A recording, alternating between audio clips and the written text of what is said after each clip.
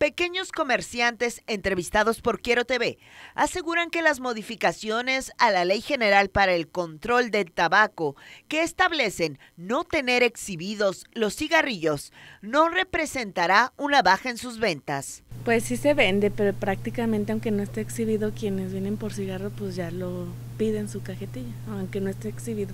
Sí, no, no afecta. Ya la gente que fuma lo busca advierten que estas medidas no inhibirán el consumo de tabaco, pues aseguran los fumadores saben dónde adquirir los productos de tabaco y tienen sus marcas predilectas. No, no creo que afecte.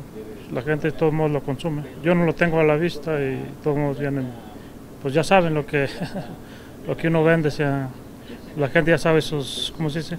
Sus marcas que fuman, pues llegan y preguntan, dame tal cigarro y lo va a consumir.